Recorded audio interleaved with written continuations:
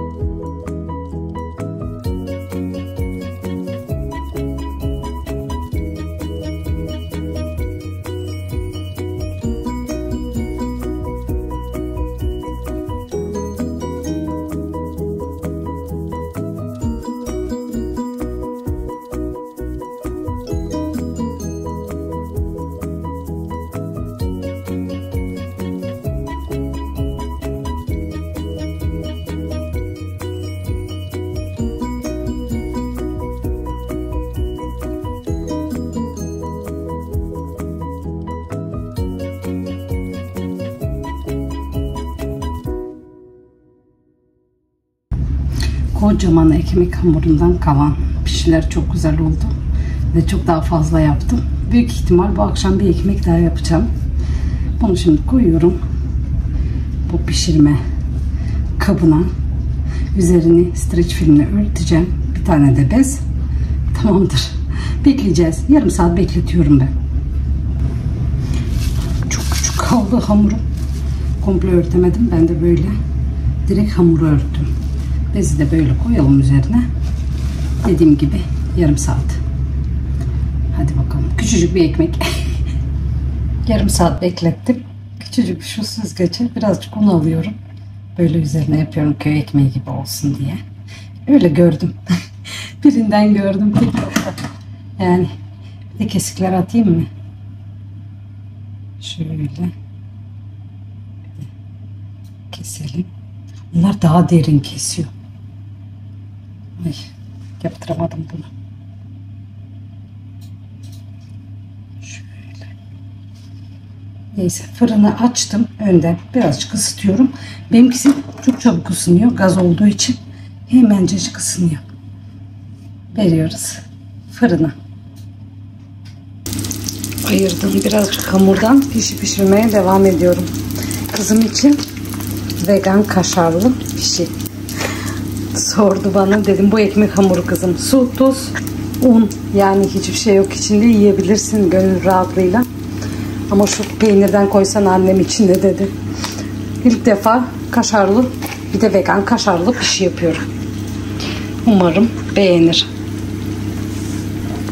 Ve minik ekmeğimiz pişti. Bakar mısınız? Çok tatlı. Altı şöyle kıtır kıtır. Çok da güzel kokuyor. Küçücük. Bugün onları idare eder. Akşama büyük ihtimal yapacağım bir tane yine. Çiçek ekmeği gibi. Çocuklar da çok beğendi böyle kırıp bir tane alıp götürüyorlar. Onu da yaparım ama işte bir şey doydu bu derken bu kaldı. Ve birazcık e, dar bir elbise bulayım gireyim dedim. Tişört yani elbise dedi.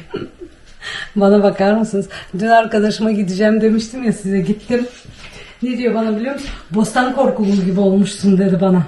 Dedim kıskanıyorsun da ondan. Niye bostan kork? Çünkü tüm elbiseler yani bol bol giyiniyormuşum. E, bol geliyorlar ne yapayım şimdi? Gardırop mu değiştireceğiz? Ben kendimi biliyorsam ben tekrardan kilo alırım. Yani gardırobu değiştiremem. Öyle bir lüksüm yok. Ama böyle girdim ki siz de görün diye.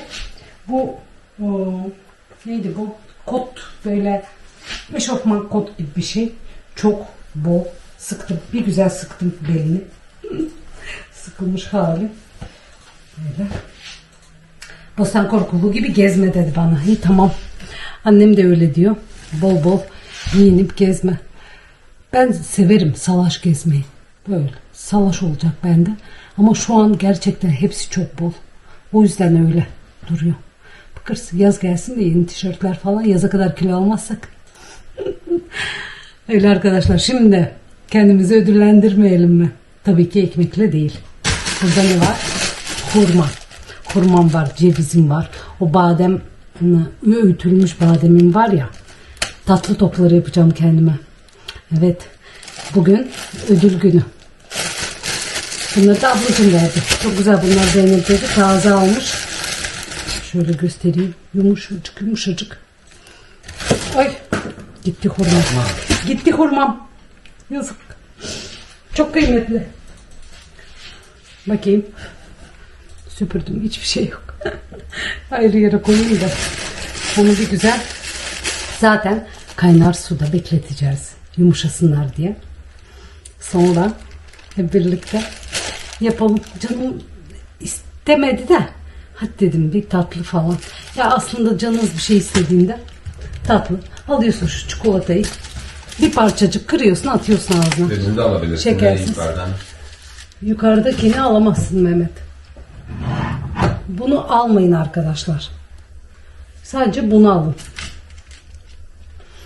Ben bu Nutella'yı hiç yemem normalde. Yani tatlı çok severim ama çok binde bir, yılda bir böyle ekmeğin üzerine sürüp de yerim. Ha, normalde yemem. Eşim, oğlum böyle kaşık kaşık götürüyorlar. Yine de zayıflar. Çok kötü bir şey. Çok. Çekirdeklerini ayıklıyoruz. Böyle kaç tane yapsam acaba? Biliyorsunuz amelsizliğim üzerimde. O yüzden biraz yapayım diyorum. 3 3 hurma oldu. İçi yumuşacık. Ben bunları hiç kaynar kaynar suya koyuyorlar. Koymasam? Ama koyayım madem koyuyorlar. Kaç oldu acaba? Ay çocuklar da yer. Dur. Zaten yemese sen bizim ağzımıza sokuyorsun ya. İşte dattırıyorum sadece. Çok yemeyin benim onlar. Ben her gün ay çekirdeği atıyordum. Şu kadarcık. 1, 2, 3, 4, 5, 6, 7. 7 tane kurma. Bence yeter. Sonra bir daha yaparız. Kolay zaten. Şimdi cevizi ben çok ufak istemiyorum. Onlar rondodan geçiriyor. Ama şu badem zaten çok ufak. Onu böyle bir un kıvamına zaten un kıvamında onu da katacağım için ve fıstık ezmesi koyuyorlar. Ben tahin çevirdim. Bunu dolapta tutuyorum ya küçük tahinimi. Su kaynasın. Üzerine koyayım. Önce bir kabımıza. Birazcık şu badem şeyden koyalım. Yeter. Bunu da dün aldığım şu ufaklıklarla kıstırayım.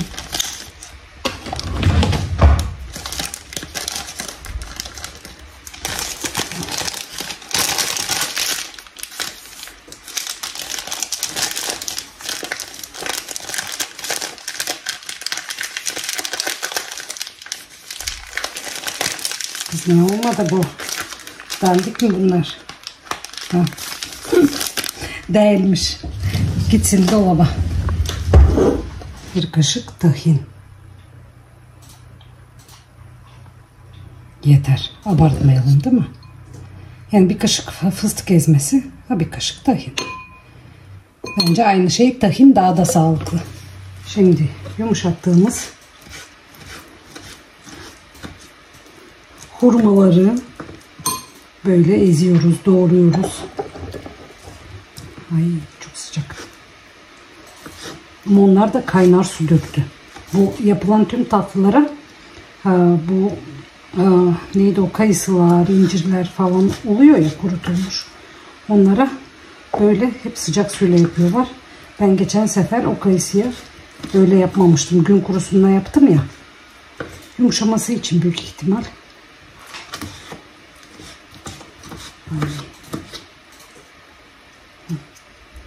Biraz ıslak bırakarak Şöyle şöyle.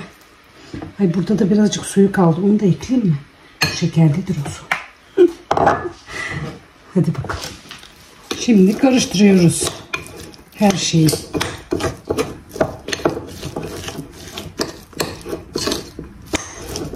Bakayım bunları bir arada tutar diye düşünüyorum.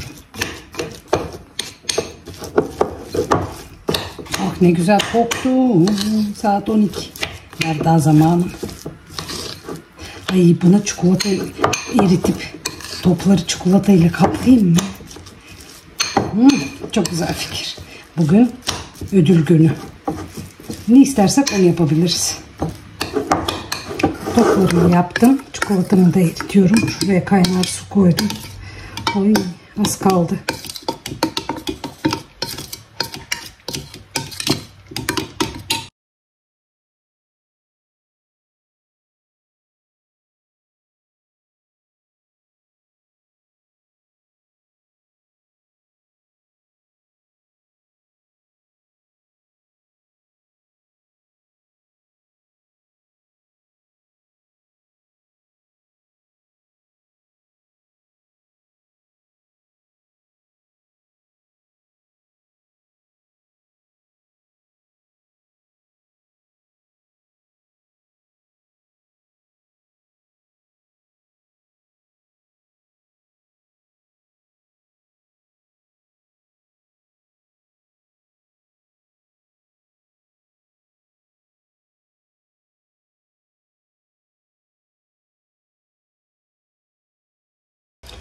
Ve iyi tamamdır. Bunları tepesi üst çevirdim ama çikolatası sertleşince çıkacak onlar. Ay ay ay. 5 dakikam aldı. Ve patilerle attık kendimizi dışarıya. Aşkım. Güzel kuzum benim. Bak dur aşkım dur. Gel bakayım bana. Gel. Gel göstereyim seni gel. Bugün seni göster. Nereye yattı ya? Ay ben seni yerim. Gel bakayım. Bakın şuna ya. Bakın şuna. Görüyor musun sizi bu şapşayı? Şapşayı. Aşkım bu nasıl poz? Bu nasıl durmak? Ne oluyor? Oh, oh kuzumu benim. Oy. Hadi dolan gel. Oh, sırtıma şunu aldım. Güzel havamız çok güzel. Evet yat kızım orada. Mutlu oldu dışarı çıkınca şimdi. Ama havlamayacaksın değil mi? Video çekiyoruz. Burada da boş şişelerim var. Şeye gitmek için. Neydi o? Bahçeye. Su götürüyoruz ya kahve içiyoruz ablamla. Hemen bu saate kadar yorumlarınıza göz atıyorum arkadaşlar. Saat 1'de. Saat 1 ama ben yine çene çalarken uzattım videoyu. Ne yapayım? Şimdi başlıyorum. Sevginin güncesi. Günaydın canım. Oh kahvemiz yazmış. Çok teşekkür ederim. Mişo'ya kalpler göndermiş. Kızın çok güzel maşallah sana benziyor kopyan. Allah Allah ben kendime benzetemiyorum sevgi. Olabilir ama var yani. Benden de var. Bebekken aynı bendi. Bunlar nasıl güzel oynuyor ya. Neyse durun devam edeyim. Ramazan kopuz günaydınlar canım. Afet olsun. Kolay gelsin. Selamlar sevgiler. Selamlar. Zeliye İbrahim. Kalp kalp kalp. Yarım kalp. Telefon elimde. Zeliyeciğim. Bence bir buçuk iki kilo arası. Bildin. Bir kilo 900. Yani tam rakamı biri yazmış mıdır bilmiyorum. İpek Tokgöz. 3 kilo vermişsindir. Eşofman bol kilo. Ay kız ne yaptınız 3 kilo? İpek Hanım. Olur mu? 3 kilo bir haftada sağlıksız zaten. Ama 1 kilo 900 gram da sağlıksız. Ben onu dediğim gibi geçen haftaya bağlıyorum. Ama iyiymiş haftada 3 kilo verebilsek keşke. Bu fi gel. Münevver Çağlayan. Siyah kömür o canım benim.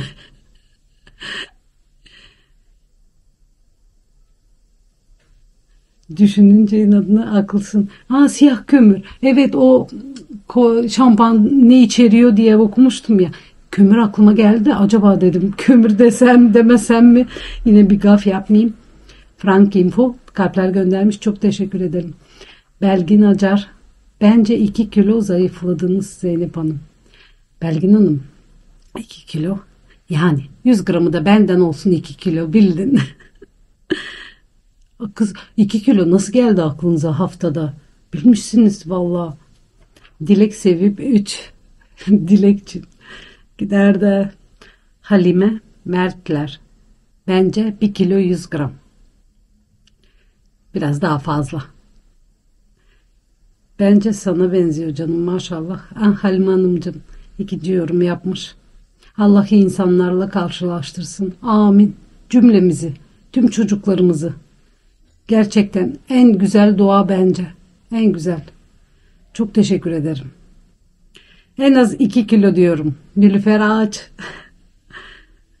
Bu arada gösterdiğin domatesi burada çocuk çoklukla salça yapmak için kullanırız. Durun devamı var. Çünkü az sulu çok etlidir ve fiyatı diğer domateslere göre uygundur. Burada da pem, pembe ince kabuklu domates var. Var. Ha, Çanakkale domatesi deriz onun tadı daha güzeldir. İşte o pembe ince kaplı domatesler Bulgaristan'dan gelecek inşallah. Ben bilmiyorum yani e, tam olarak e, adını falan ama odur. Pembe ince kaplı domates çok güzel olur. Salatada falan böyle sulu sulu çok güzeldir. Yani ben Bulgaristan domatesi Bulgaristan'da gördüğüm için öyle diyorum. Bak sizin orada da varmış. Filiz İnal kızın çok tatlı bence sana benziyor Zeynep'ciğim. Kiloya gelince bir buçuk gitmiştir diyorum. Bir buçuk gitmiş. Sen hepsini her her biriniz bildiniz yani. Domates de durun devamı olunca böyle girmem gerekiyor. Ee, domateste salçalık bu sanırım Ankon domatesi gibi. Türlerini bilemeyeceğim. Olabilir. Ama ben arkadaşıma onu gösterdim. Bu var. E, Bulgaristan'da dedi niye sadece Türkiye'de oluyormuş.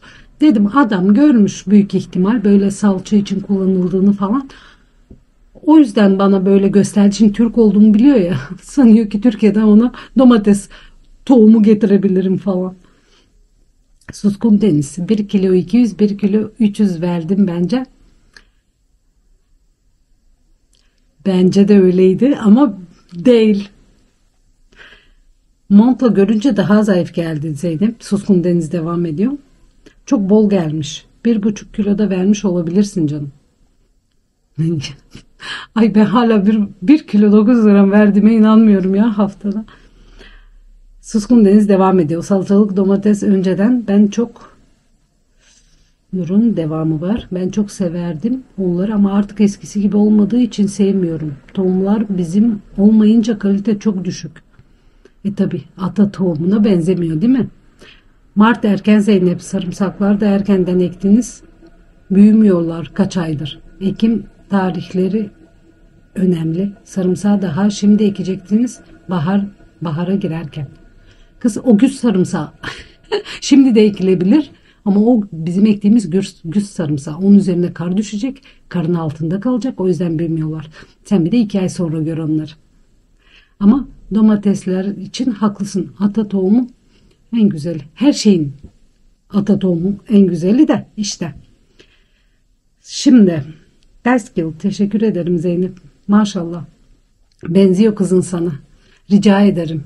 Ben çok aradım o videoyu. Tek bir videoda var ve Bulgaristan tatilindeki videolarda böyle arkada falan biraz gösterdiysem çaktırmadan o kadar bulamadığım için fotoğrafını göstereyim dedim. Nuray boyun bir buçuk kilo. Selamlar. Selamlar Nuray.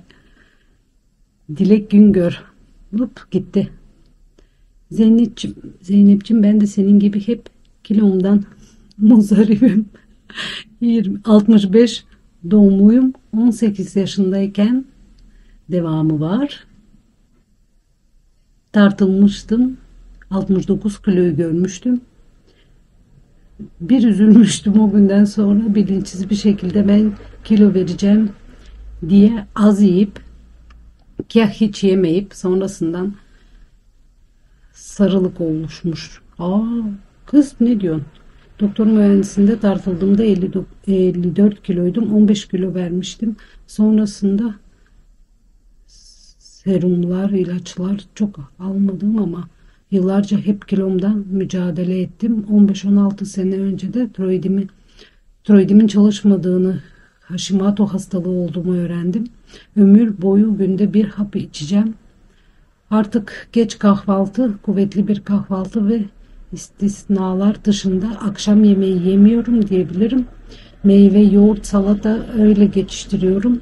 Senin de hormon tahlilin yap, hormon tahlilini yaptırıp bir tiroidine baktırmanı tavsiye ederim. Gösterdiğin domateste salçalık domates deriz. Sevgiler. Sevgiler Dilekçim. Çok teşekkür ederim tavsiyen için. Onu da bir açıklık getireyim. Evet ben bunların her birini iki yıl önce yaptım. Yani iki yıl önce. Böyle ilk defa Canan Karatay diyetine girdiğim zaman. O tahlili yaptırdığımda yani böyle 82 kilo falan. Türkiye İstanbul'a gitmiştik ya ablamla. Orada tam 82 kilo. Ve doktor bana kilo verirsen bir sorunun olmayacağını yani tiroid işte bu ne tiroid diyorlar buna değil mi? Tiroid bezlerin çalışıyor mu falan. Ben niye zayıflayamıyorum? Ben niye böyleyim? Niye şöyleyim diye kafa yorarken hep bahaneyi başka yerde arayarak aslında sağlıklı beslenmeyerek kilo alıyordum. Ve her şeyim yolundaydı. Ama böyle devam ederse potansiyel bir um, diyabet tip 2 oluşabilir zamanla yaşlar geçtikçe falan diye hani potansiyel bir diyabetik hastası olma ihtimali çok yüksek demişti bana. İlk defa o zaman Canan Karatay keşfettiğim kitaplarını aldım. O diyete girdim. Ve o diyeti 3 ay yaptım. 15 kilo verdim. Tekrardan gittiğimde tekrardan tahlil istedim. Her türlü tahlil dediğiniz gibi. Evet 2 yıl geçti aradan ama ondan sonra ben o kadar yani böyle ara ara diyet ara ara yemek modunda böyle gidip geldiğim için iki yıl içinde zaten siz benimle birlikte bir yıldır bir buçuk yıldır birliktesiniz. Yani bu bir buçuk yıl içinde üç kere yapmışımdır ben diyet. Ve ıı, nasıl diyeyim yiyorum ya çok fazla tüketiyorum. Ve evet yiyebilirsin her şeyi yiyebilirsin. O kadar doğru söylemişsin ki yıllardır bak akşam yemeği yemiyorsun. İşte ben deki tek sorun ben yerken çok yerim, yemezken yemem. Yani şu an evet yemiyorum ama bilinçli bir şekilde yemiyorum. Eskisi gibi değil. Hani bunu yiyeyim de zayıflayayım, başka bir şey yemeyeyim. Şu an ben hücrelerimi beslediğime inanıyorum.